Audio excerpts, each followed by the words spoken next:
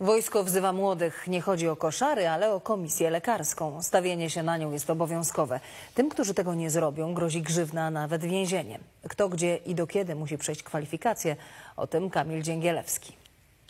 Dla jednych obywatelski obowiązek, Normalna sprawa, każdego to czeka. dla innych formalność. Kategorię dostałem, jestem wolny. Przed komisjami wojskowymi w całym kraju od dzisiaj do lipca stawi się 230 tysięcy młodych mężczyzn. Kwalifikacja wojskowa w tym roku obejmuje rocznik 2004. Wezwanie dostali też ci, którzy nie otrzymali jeszcze kategorii, bo przez pandemię kwalifikacje zostały wstrzymane. Wielu obawia się, że wezwanie przed komisję jest jednoznaczne z poborem do wojska. Kwalifikacja wojskowa polega generalnie na założeniu ewidencji wojskowej i przeglądzie lekarskim, psychologicznym. Chodzi o to, by armia w razie potrzeby wiedziała na kogo może liczyć. Najlepiej było, żeby jej nie było jednak, ale jak będzie, no to wtedy będzie człowiek myślał. walczył, bo wie pani, e, przodkowie walczyli. Komisja lekarska nadaje adekwatnie do kondycji jedną z czterech kategorii A, B, D lub E. Wizyta kończy się przeniesieniem do rezerwy. Dezercja nikomu nie ujdzie na sucho. Nieusprawiedliwiona nieobecność będzie skutkowała grzywną,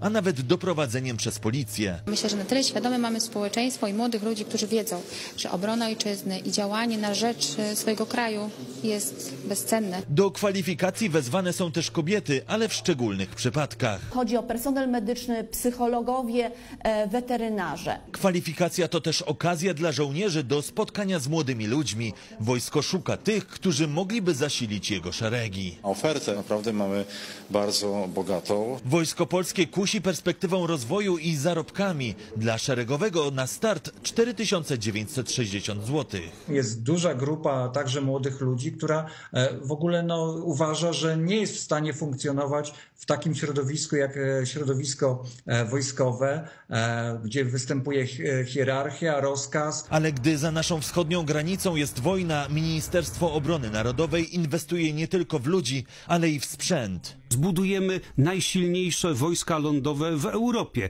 Jesteśmy na dobrej drodze, żeby to uczynić. Potrzebujemy jeszcze, no powiedziałbym, dwóch lat. Armia to też ludzie. W ubiegłym roku do zawodowego wojska zgłosiło się prawie 14 tysięcy nowych żołnierzy. To rekord od czasu zaniechania poboru. Kamil